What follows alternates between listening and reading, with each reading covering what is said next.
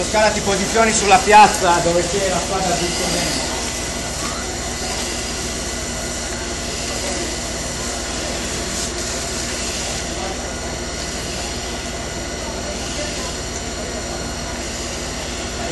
cara